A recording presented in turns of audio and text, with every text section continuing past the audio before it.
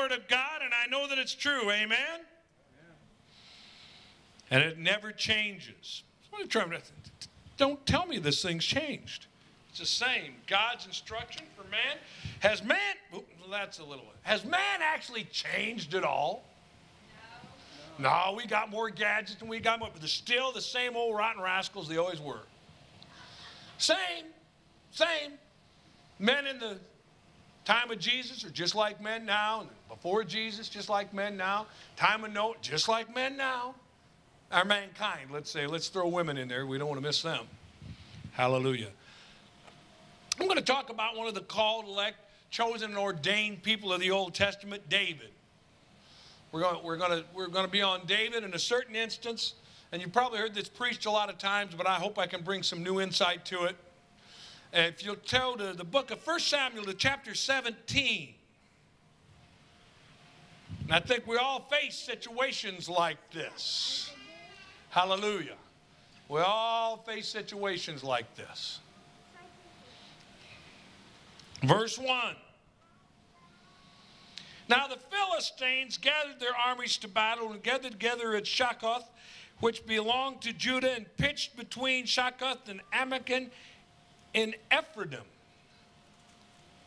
And Saul and the men of Israel were gathered together and pitched by the valley of Elah and set battle in array against the Philistines. And the Philistines stood on a mountain on one side, and Israel stood on a mountain on the other side and there was a valley between them. And there was a champion of the camp of the Philistines named Goliath, whose height was six cubits and a span, approximately nine feet, nine inches tall. Approximately nine feet, nine inches tall. And that would have been if he was the common cubit. If it was the royal cubit, every cubit would be two feet, almost two feet, 23 and almost two feet. But six, that'd make him 12 feet tall. So he's somewhere between 10 and 12 feet tall. This is one big rascal. Amen? Now, Israel is upon this mountain. You got the army there. You're surrounded. And you're on a mountaintop. We all have spiritual mountaintops. We all have the time that the Holy Ghost is around us. The goosebump is so good, we think we could just whoop anything. Amen? That, they're riding on the mountaintop. The mountaintop experiences are very good. They're very good. They feel good. Amen? Uh, but the thing about a mountaintop experience is it doesn't take any faith to ride on the mountain. You're surrounded by the glory of God, and it does not take a great deal of faith to be up on the mountain. Hallelujah. And we would like to stay up on the mountain. Amen? But here we look across the mountain, and on the other side is a big old giant and the army of the enemy. And, and we have things, and the church has things it needs to do. This church needs to go out and start reaching out more. And we reach out, somebody out of the bunch might get saved or get in the process of being saved, get started on the right track. Amen. So there's this big old army of the enemy on the other side. Amen. And old Goliath, he threatens. He says, Anybody up on that mountain? Come on down here and fight with me. You want to stay on the mountain. It's comfortable on the mountain. You're surrounded by your armies. Uh, you got the goosebump and, and they sing the praise song and, and you're happy up on the mountain and, and nothing's affecting you and you're not being wounded and you're not being up, beat up and you got no chance of, of being wounded or injured. Amen? You're staying on the mountain.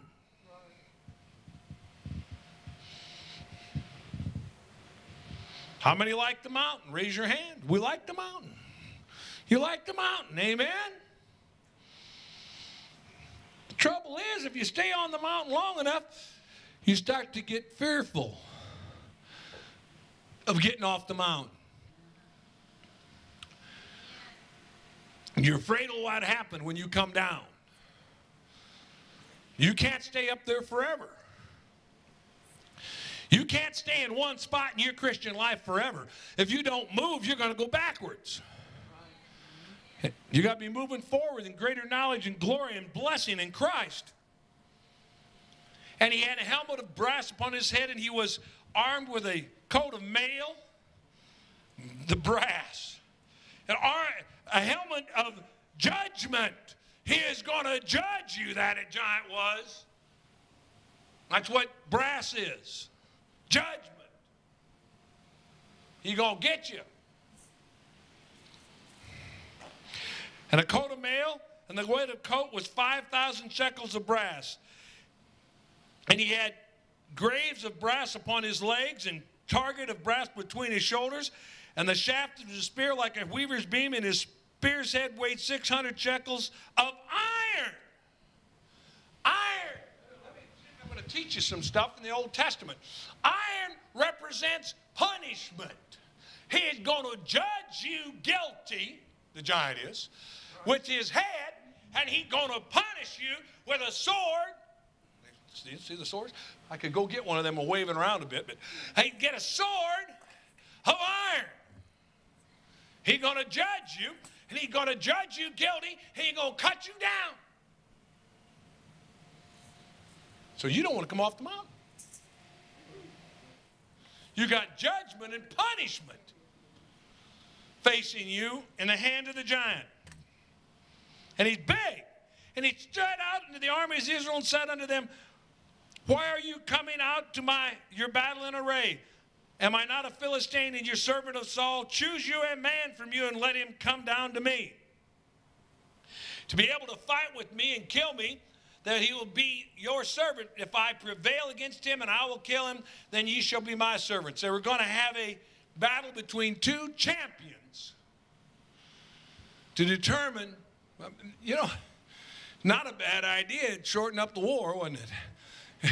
two champions like the fight league, see who wins. Amen.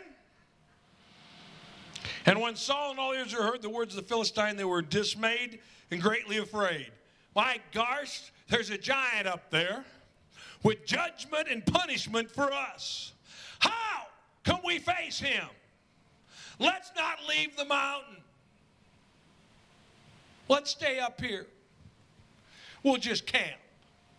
I'm afraid that the church of God that is supposed to be doing a work in this country today is camping on a mountain. They've set down their pegs and put up their stakes. They're sitting around the campfire, roasting weenies, making s'mores, and not going to go see the giant. Well, let's just stay here well, if I go, there's giants in every one of our lives. There's, there's giant. There, a lot of us a giant. We just don't want to talk to anybody about Jesus. That's a that's a simple fact. You're afraid to say something about Jesus. Amen. I don't care what. See, one thing you got to do is get to where you they, you don't care what people think of you. They don't care at all. Because if you worry about what people think of you, you're going to be controlled by people. You worry about what God thinks of you, then you're going to be controlled by God. I just plain don't give a hoot. Well, I didn't want to say that other word. I don't. I got where I don't care. And the Philistine said, verse 10, I will defile the armies of Israel this day. Give me a man that will might fight. And Saul and all Israel heard these words of the Philistine, and they dismayed and were greatly afraid. Now, Saul was over seven foot tall. He was the biggest one that they had.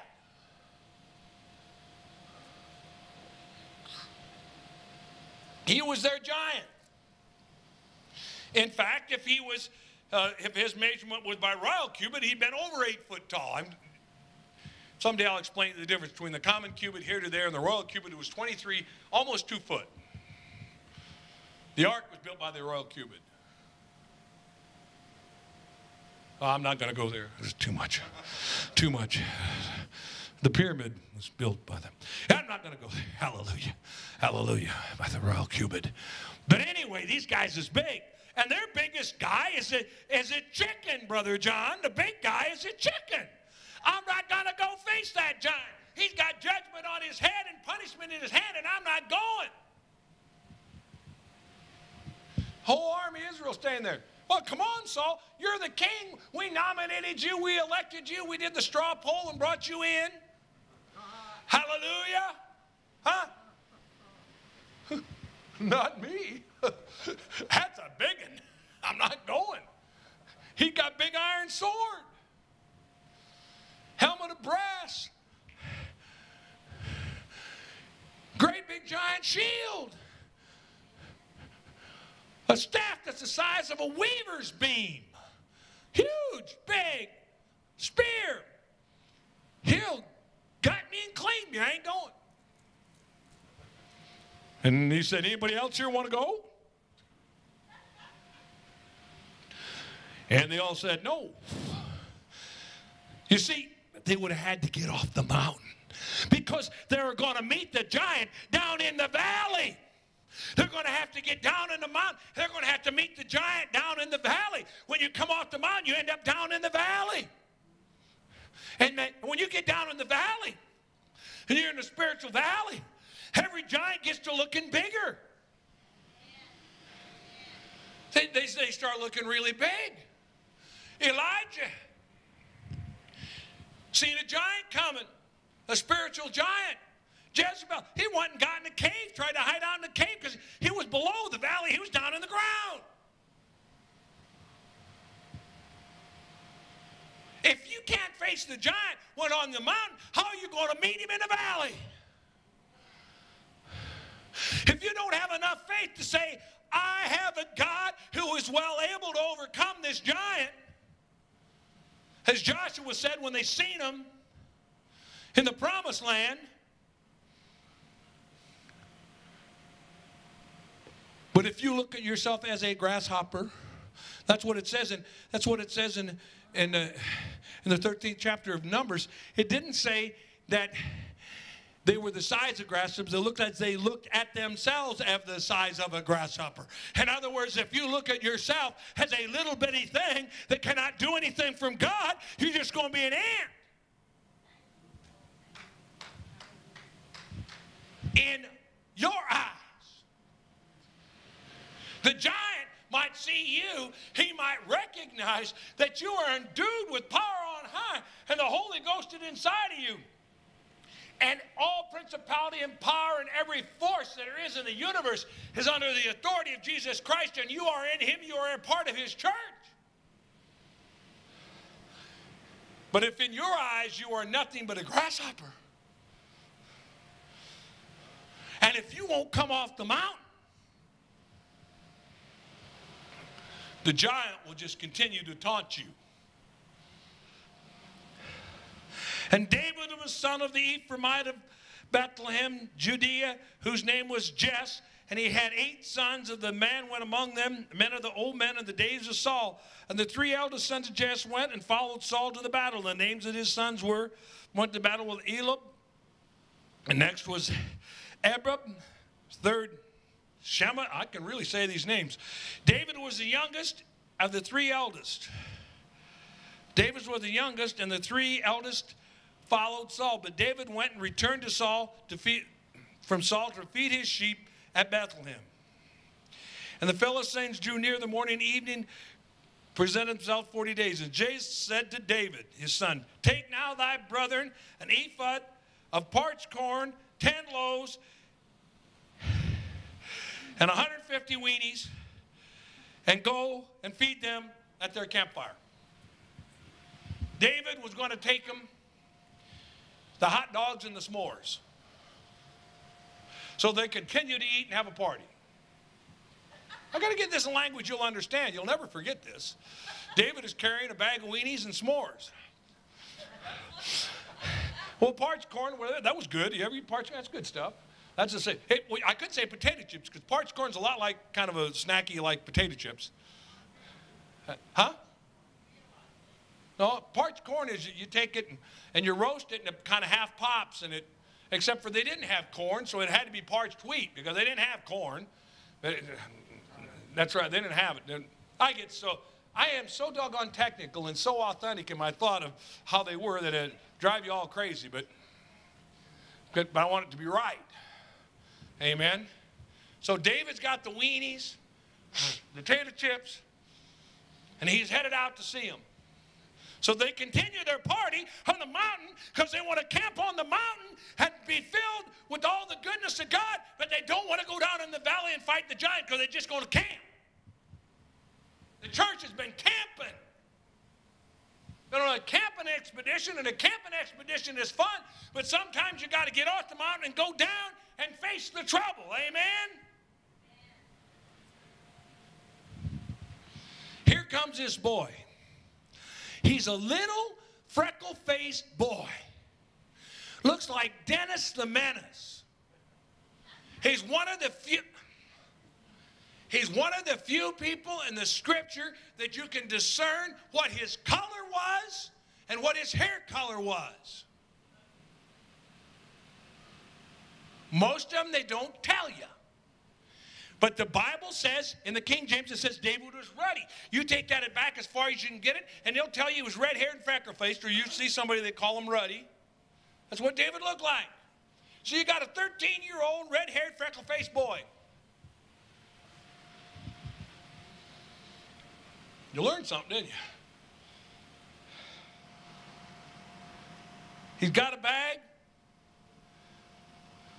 of 10 cheeses so we had Cheetos too. Under the captain of the thousand took thy and take their pledge. And now Saul and they, all the men of Israel were in the valley of after fighting with the Philistines. And David rose up. He, his dad thought they were fighting. They're up on the mountain. They ain't went down. David rose up in the morning, left the sheep with the keeper, and took and went just as commanded him. And he came to the trench as the host was going forth to the, the fight and shouted of the battle. For Israel and Philistines had put the battle in array, army against army. And David left his carriage in the hand of his keeper of the carriage and ran into the army and came and saluted his brethren. And he talked with them. Behold, there came up champion of the Philistine, Goliath, by name, out of the armies of Philistine, and spake according to the same words. And David heard them, and all the men of Israel, when they saw the man, fled from him and were sore afraid. And the men of Israel said, Have you seen this man that is come up surely to defeat Israel? And he came up, and it shall be the man who kills him, the king will enrich him with great riches and will give him his daughter and make his father's house free in Israel. And I'm going to just paraphrase from now on I'm running out of time. And David said, I'm the man. He's nothing but a boy. He's a little bitty, red haired, freckle faced boy. Looks like Dennis the Menace. And you got somebody that's somewhere between 10 and 12 foot tall over there he's going to come up against.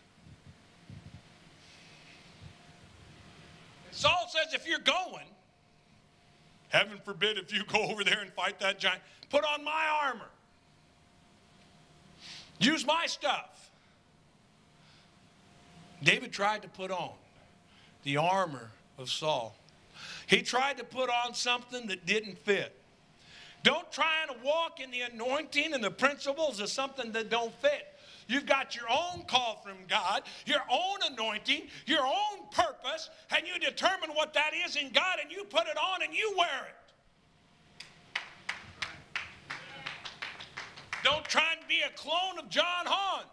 You learn from him, but you're not going to carry my anointing. You're going to have to get your own anointing that God gave you. Mine won't work for you. My armor won't work. I can tell you how to build your armor and where to get it, but you got to get it for yourself. This Christian walk is a personal walk with Jesus Christ. Amen. Your mama ain't going to save you, and your daddy ain't going to save you. Only Jesus is going to save you. Amen. Hallelujah. Old David goes down there with what he knows. He goes down there with a sling and five stones. Oh my God. Five stones.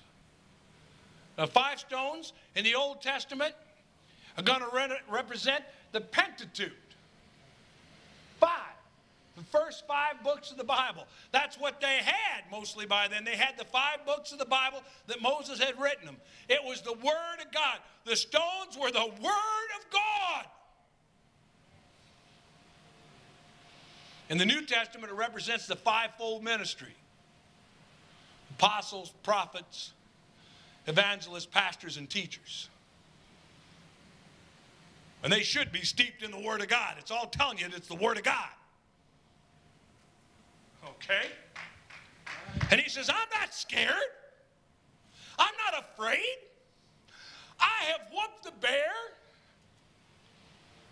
I got that 30 pound raccoon. He didn't get me. I whooped the big bear. I whooped the lion.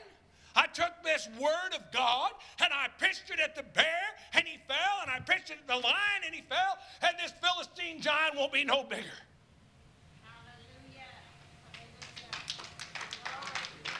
He won't be no bigger. So old David, after he left the weenies and the Fritos and all the s'mores and all that stuff with them so they could stay back and eat and have a party, he walked down the hill, sling in hand. And the giant, with the giant brass headgear and the brass mail all over it, there was judgment to David.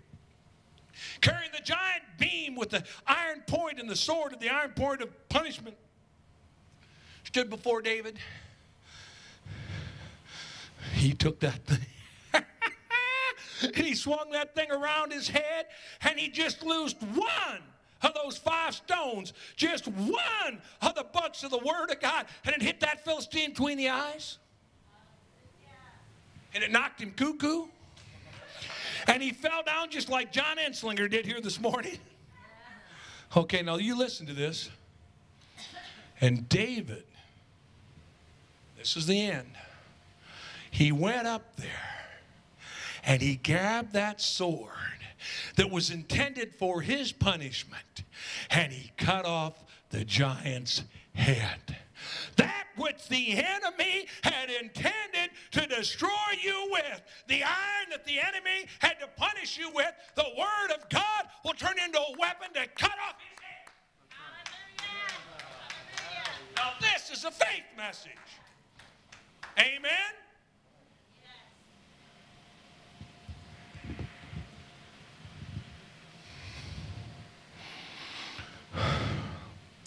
You might feel that you are an incapable,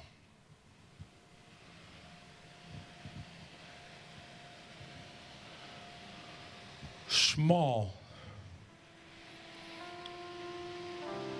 insignificant member of the kingdom of God.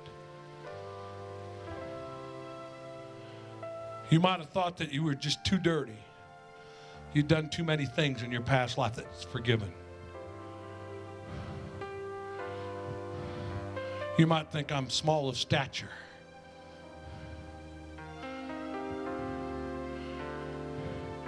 I'm, I'm young in this thing. I, I haven't been educated very much. I don't know much. I just know that Jesus is able. You might be emotionally weak. In your eyes, you might think you are a grasshopper. But a little red haired, freckle faced boy showed us what we can do in God. We can get out of the camp on the, on the weenie roast and the party that's up there and walk down into the valley and take the word of God and slay a giant and take the punishment he had for us and cut off his head. Or as Joshua said, we are well able. We are well able in Jesus Christ. This is a message to this church this morning. We are well able. We are well able to overcome the wiles of the enemy.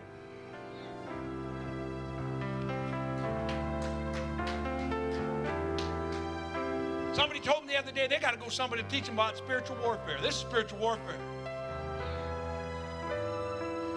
This word of God.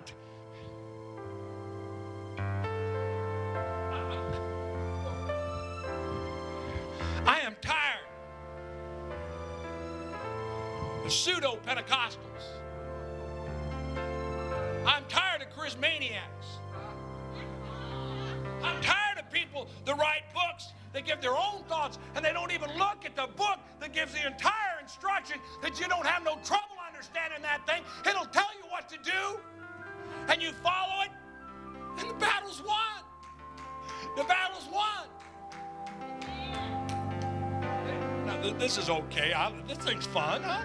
They, they want you, they, uh, you're going to win the battle by, by getting one of these things that says war on it and you just keep swinging it. Give me a break. We're going to give you a spiritual warfare tape, and you're going to listen to that thing and, and dance around, and you're going to win the war. They're still on the doggone mountain. They don't want to come down and face the giant. They want to get dirty.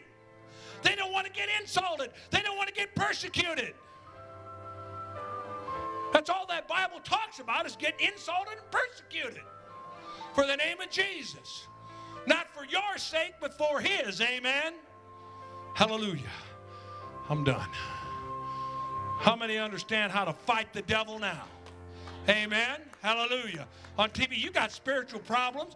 You raise up like David rose up and realized that you have the power in Jesus Christ if you're really in Him. If if you are, oh, I'm hot today. If you are sitting in a pew, starting to smell, with not enough power in your spiritual life to defeat a gnat. Get out of that mess and get to where the Word of God is preached and the truth of God is preached and where holiness is preached and the truth is preached. And you'll be raised up to be a mighty warrior for Christ. Amen. Amen. For anyone who would like to get saved right now and turn away from your sin, please pray this prayer with me. Dear Heavenly Father, I come to you in the name of Jesus. I ask you to forgive me of my sins. I confess you right now as Lord and Savior. I ask you to come into my heart. And I thank you for saving me. In Jesus' name, amen. To contact us, please go to anchoredinfaith.org and click on Contact. Then fill out the form and click on the Submit button. Someone will then contact you within a short time. Social media video platforms carrying our programming can be found by clicking on TV. The latest episode can be viewed directly on our homepage at anchoredinfaith.org. Late breaking information will be posted on facebook.com slash AIFGC. This has been a copyrighted presentation of Anchored in Faith Gospel Church.